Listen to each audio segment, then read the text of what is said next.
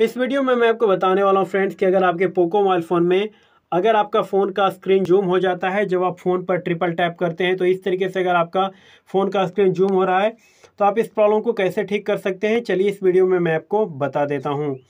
तो सबसे पहले आप जो है ट्रिपल टैप करके आप जो आप जो है नॉर्मल साइज़ में आ जाइए और फिर आप यहाँ, आपको यहाँ सेटिंग के ऑप्शन पर क्लिक कर देना है, यानी कि आपको सेटिंग में जाना है।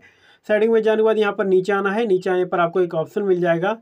एडिशनल सेटिंग का। आप इस पर क्लिक करेंगे तो इसमें आपको यहाँ पर ऑप्शन मिल जाएगा एक्सेसिबिलिटी का। आप इसमें क्लिक करेंगे क्लिक करेंगे, आपको यहाँ फिर विजन का ऑप्शन मिलेगा। आप इस पर क्लिक करेंगे और फिर नीचे आएँगे तो आपको यहाँ मैग्नीफिकेशन का ऑप्शन मिलेगा। आपको इस पर क्लिक करना है और आपके फ़ोन में ये मैग्नीफिकेशन वाला सेटिंग ऑन होगा। तो आपको इसे बंद करना होगा। बंद करने के लिए आप यहाँ पर क्लिक करेंगे और आप यहाँ से, और आप यहाँ से इस सेटिंग को बंद कर देंगे। और देखिए, अगर आपके फ़ोन में ये मैग्नीफाई विथ शॉर्टकट, ये वाला सेटिंग भी इनेबल है।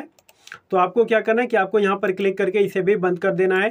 तो आपके फ़ोन का स्क्रीन फिर जूम नहीं होगा। तो इस तरीके से आप जो स्क्रीन जूम प्रॉब्लम को ठीक कर सकते हैं पोको के मोबाइल फ़ोन में। वीडियो पसंद आया है, वीडियो को लाइक करके चैनल को सब्सक्राइब ज़रूर करिएगा।